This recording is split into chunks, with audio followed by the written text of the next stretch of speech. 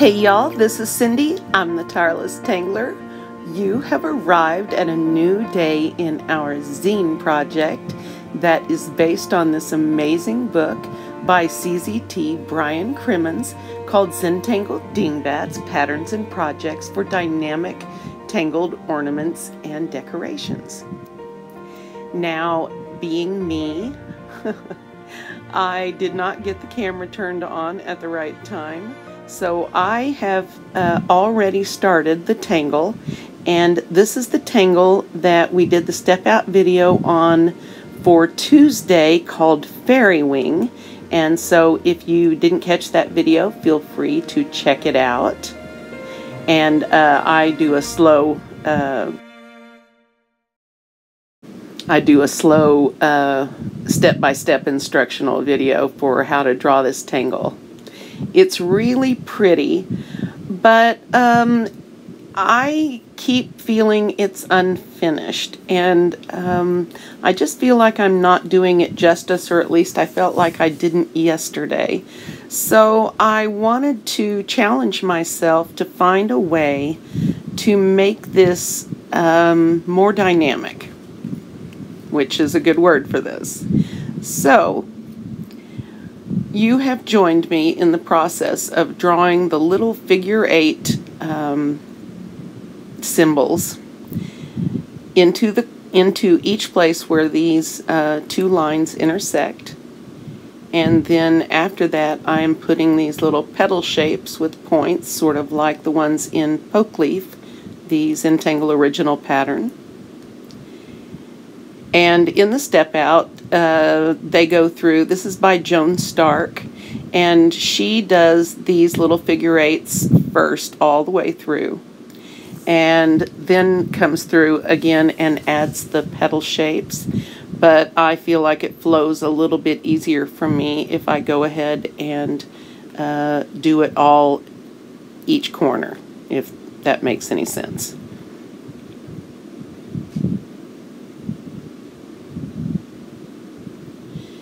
So I guess for me, I'm a person that really appreciates tangles that have a lot of density, um, a lot of depth, a lot of overlap. And so one of my uh, challenges with this was to find a way to make it a little bit more exciting for me, uh, meaning that I just always feel it's a little unfinished.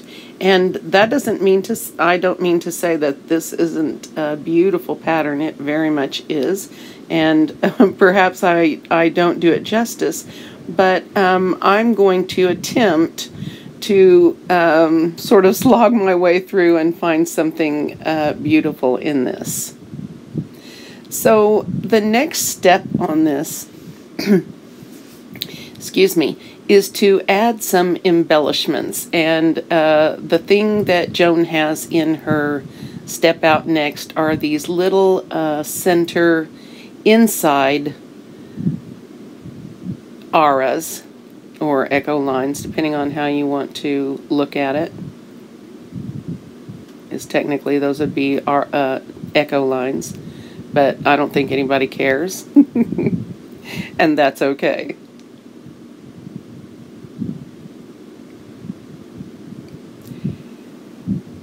And so I'm going to, um, but what I found yesterday in uh, Tuesday's video was that it was a lot of fun to play around with the centers of these and uh, to embellish the, whoops, that's Simba checking in with you guys. I'm sure the neighbors are not appreciating him since it's about 10 o'clock at night. So what I'm going to do is try to vary this and embellish it or zenbellish it as Brian would say. See, I should have turned my should have turned my pages there. Uh, but that's an easy fix. And I'm going to try to add some fun to these and we're going to see what we come up with. You saw in the beginning picture that I ended up using a lot of mixed media in this, and so that's going to be fun for you guys, I hope. And it's going to be interesting to see where we end up with this. So what I've done here is I'm alternating every other one with the standard step out version of the center uh, part. And that leaves me a symmetrical way of adding something a little bit different here. And I think I decided to go with these little um, slightly curved marks, or lines or whatever. Um, this is hard for me when I work this small because I, I have trouble seeing where to start and stop on them. But uh, when I get finished with this, there are going to be a lot of layers in this. And so one of the things I really want to encourage you guys uh, with is to not give up on on these uh, until you've completely finished them. Uh, I think I've mentioned before that art has an ugly stage frequently, almost always has an ugly stage. And if you give up too soon, sometimes you give up in the middle of the ugly stage and you don't stick stick it out to see what comes up in the end. So I really want to encourage you guys when you're doing this kind of project, see if you can make it work for you. And you're going to see that I am going to try uh, several things, uh, some that work better than others. And I think what I came out with uh, is something that I'm fairly pleased with. I don't think this is probably going to be a go-to tangle for me, although it's very pretty. But uh, for me to be happy with it, it takes a lot of extra work, which really uh, distracts me from my zen. And uh, it's been a tough week for me this week, and I am looking for my zen. And finishing this up today really helped me to sort of get into a more chilled spot in my head. Um, I had a very hard Monday and Tuesday this week, and I am so sorry I missed you guys yesterday. That has not happened to me since I started regular uploads, and I really, really apologize to you guys. Uh, I will try to not let that happen again but sometimes things are outside of our control. So I appreciate you being back with me today.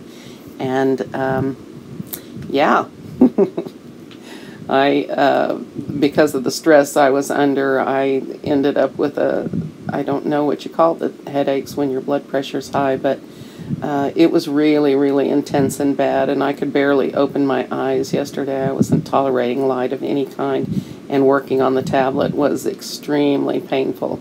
So um, I just, I had part of this video already recorded, but I couldn't even look at it long enough to edit.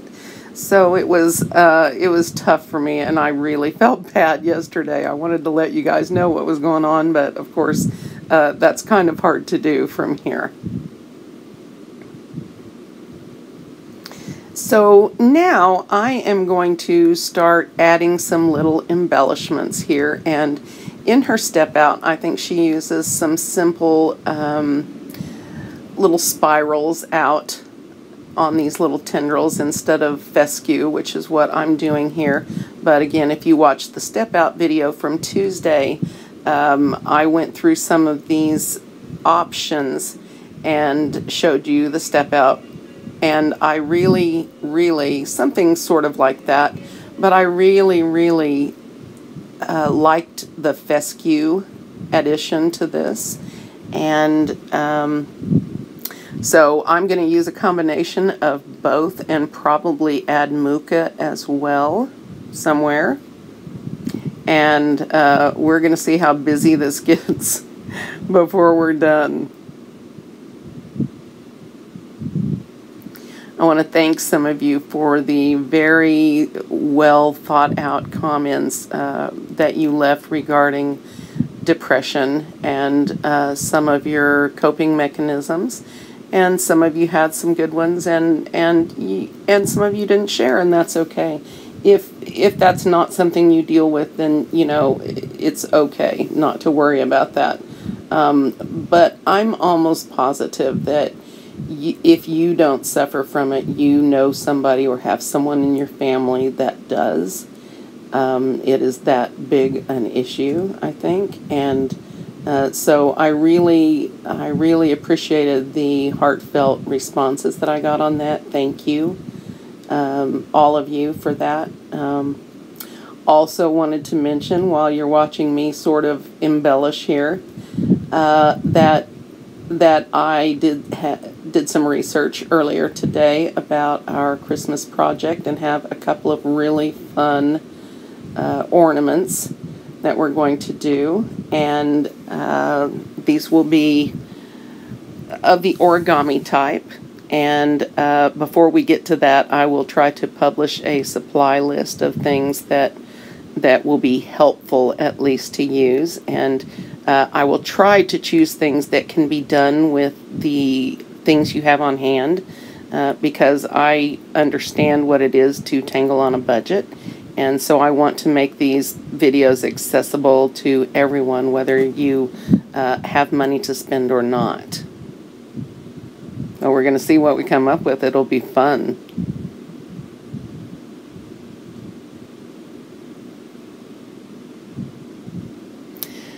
Also, uh, I am looking into the uh, series of Christmas cards um, that we might do. This uh, project would blend right into that type of thing very easily. And, uh, and, and of course, they don't have to be Christmas cards. They can say whatever you want. Um, I, I know we have people here from all over the world, and I don't want to um, forget that. Um, but almost everyone, I think, uh, celebrates some sort of holiday um, at the end of the year. And so I thought we would do some greeting card type things or cards that you can send uh, to families and family and friends that would show a little bit of your talent off and uh, give them something that's really special. And if that's not your thing, and I will tell you that there are some holidays that I am extremely bah humbug lately. That's been a big theme with us.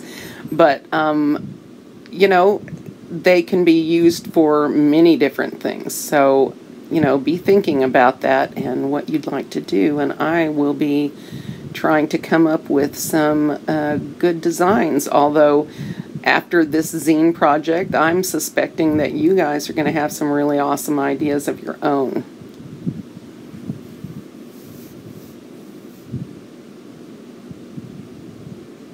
So now I've started adding a little bit of Mooka here and there. And I like to just go from from section to section, add a little bit here, add a little bit there. One of the reasons I'm adding the extra tendrils and decorations is because I felt uh, I didn't have enough density around these, and again, that is a personal preference of mine and the way that I've chosen to draw and the things that I personally like.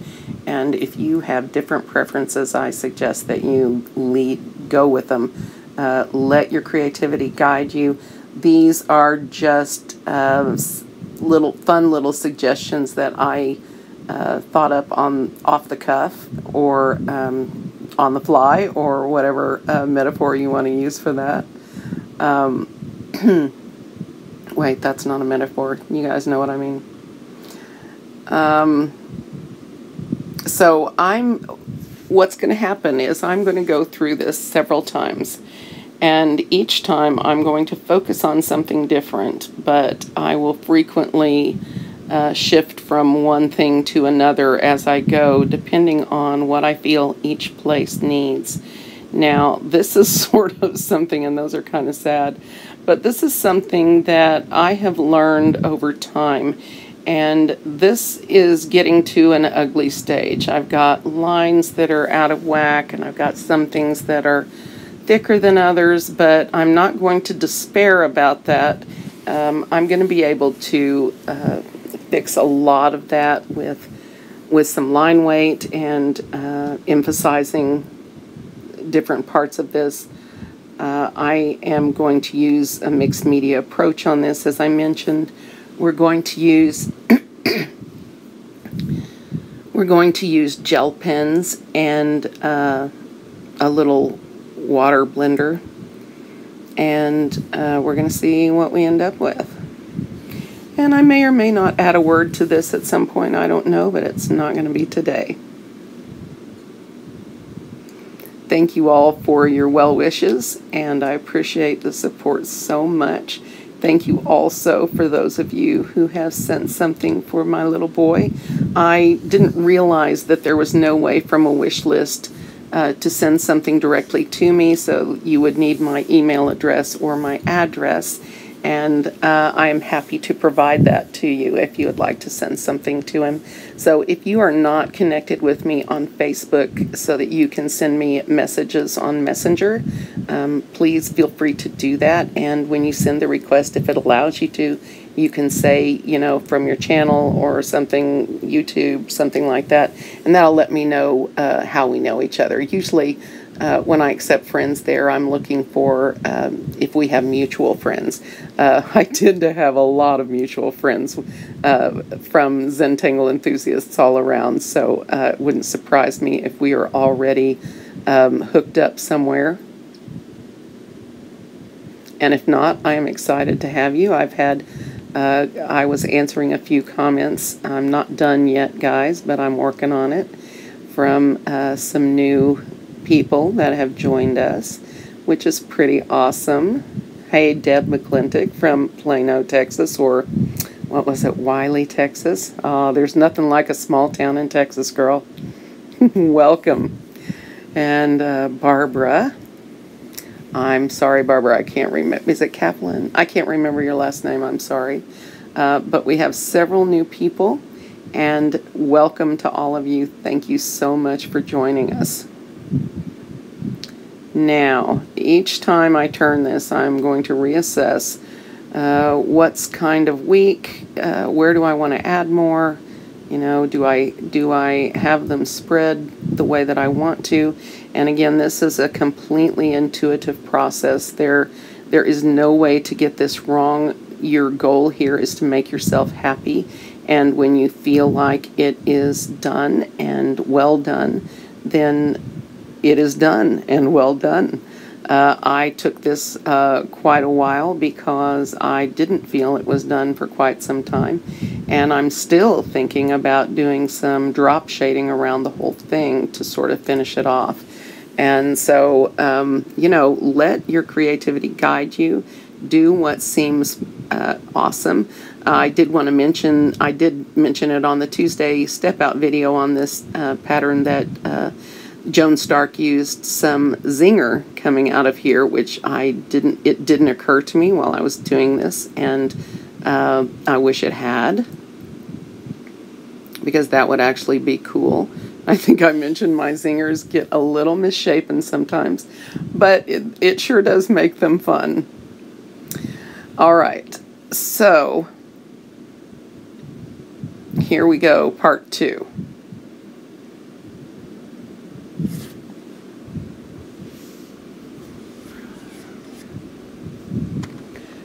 So after the first pass, now I'm going to go back around and I'm going to hmm, I'm still embellishing because who doesn't like embellishing? When I was a kid, my mom used to get really frustrated with me because I would decorate the kitchen and not sweep the floor. Can I hear an amen, girls? Or boys? Whoever decorated the kitchen. I loved setting the table nicely, you know, making a nice meal, decorating. Decorating was always my thing. So, uh, Zentangle is kind of a, a really awesome gift for me. I am able to decorate, decorate, decorate all I want, and it is so much fun. So I'm just trying out a couple of different techniques here. This is a dot dash dot dash thing, which I like to use a lot. It's a very simple thing that can dress something up. It's a great embellishment.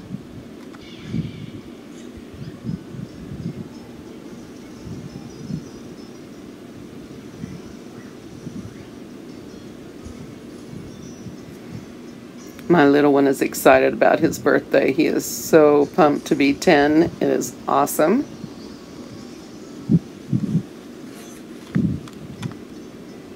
Let's see. Put in a few dots. See what that looks like.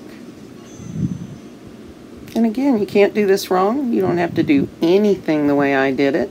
You can do something entirely different. That is the great thing about Zentangle. You cannot do it wrong. No mistakes.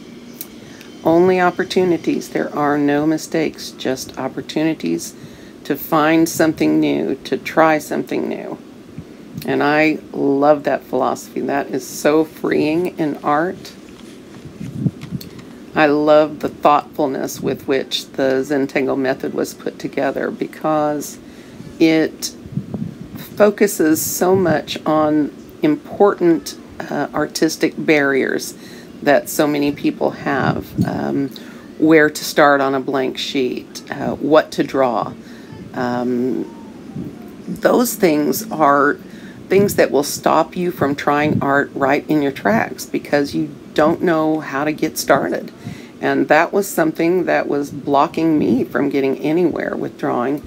And so, this and the fact that it doesn't have to look like anything is another freeing thing because then you don't have uh, preconceived notions about where you're going and you're able to just enjoy the drawing process. Again, that was a pivotal one for me. And the chill that you get, the zen, the relaxation is so amazing with this. And uh, I saw somebody's comment about uh, where did I see that? Either in our comments or on Facebook, I saw today something that somebody said about does anyone else feel like um, they don't get bored so much in, in when they're waiting around anymore uh, because they have their tangling supplies with them? And that is so true of me. I used to get so frustrated and so angry when I had to work, wait at doctor's offices or for other appointments. And I'm telling you, that has completely changed. I almost enjoy waiting now because I'm doing something that I love. So what I'm doing now is I'm dressing the Mooka up just a tiny bit with some rounding right there in that little crevice up at the top. It really does finish it off a lot. Again, rounding is a tough one for me, but um, I'm getting a little bit better, I think. As with everything, it takes practice.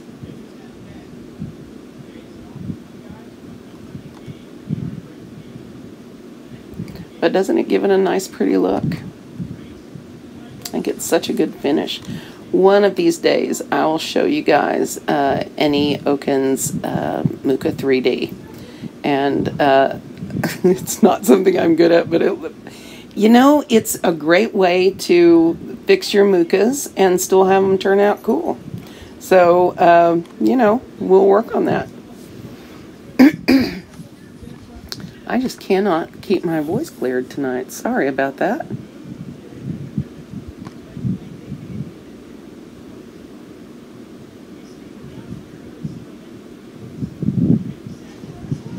So I just noticed this is an hour and 29 minutes. So I believe that I'm going to be speeding parts of this up for you because, um, well, I might split it between today and tomorrow, or tomorrow and Friday. And, well, today and tomorrow. okay, I'm confused now anyway, we will see how far about 30 to 40 minutes gets us here, and uh, we'll take it from there.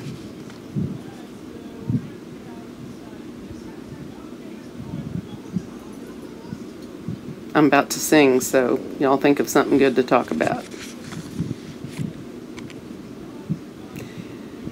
Let's talk about, I know what I want to talk about, something near and dear to my heart um, the responsibility that we hold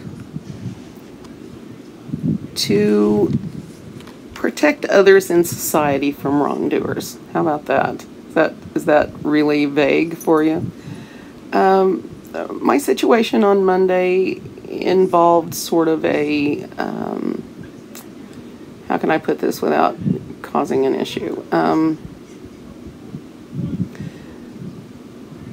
someone was. Uh, hmm. no, I'm not teasing you. I'm really not.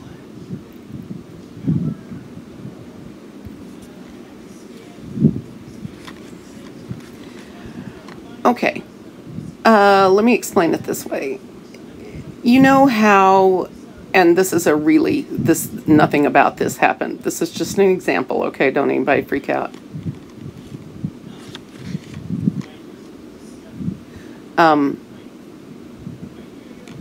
well, maybe I can think of a better example because that's really, it's, it's, it's about something similar to what our responsibility is to society to report people that are hurting others or ourselves, as was my case. And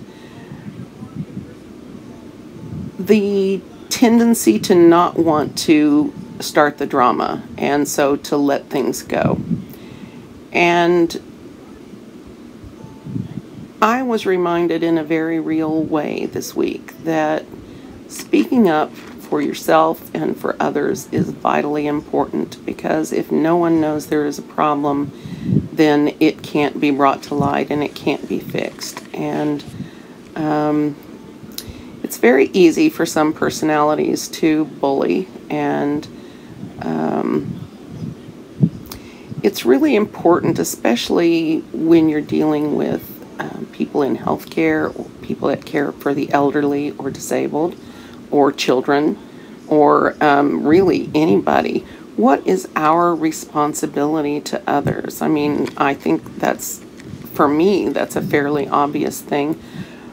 But rape victims feel very differently about that frequently. And um, many of them have caused themselves great distress to try to help other women not be victims. Uh, so, my situation Monday involved me having to deal with a situation like that. And um, it was hard for me. I didn't need the stress of what was going to happen. I did not need um, any more high blood pressure or anything like that. But I felt I had a responsibility to other people that were in my situation to speak up. And so, what do you guys think about that? Um, it's such a difficult, it's such a such a difficult position to be in, and it's easy for some people to do that to advocate for themselves. Um, but it's difficult for some people, especially people that struggle with confrontation. And that is something I have always struggled with, although I've gotten a lot better at it as I've gotten older.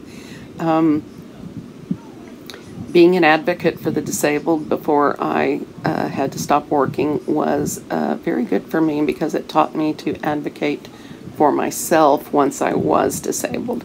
And so, um, it's important if something wrong is going on, whether you're involved or not, that you report it. And that's my two cents on this. So it's, you know, stuff is tough all over. And if we don't look out for each other, then we are what people want to make us out to be, which is, you know, just animals. And while I embrace my inner animal and am proud of it, um, I think we as human beings have such a capacity for compassion and grace under pressure that it's important for us to show that and um, have compassion for our fellow man and you know take people into consideration when we're in situations like these. So anyway that is my soapbox for today and i'm done